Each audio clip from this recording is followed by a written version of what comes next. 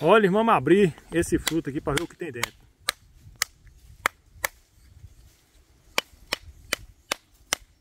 Vou levar a casca, que eu vou fazer o chá do, do, do, do, do jatobá, pessoal. Isso aqui é jatobá, olha a farinha, farinha láctea Nestlé.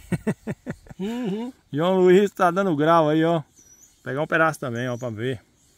Ver se é bom mesmo, ó. Vou mudar a câmera. Olha.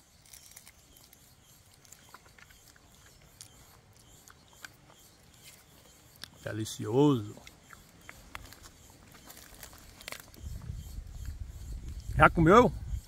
Nunca? Diz aí por aí que é remédio. Então, venha comer também, ó.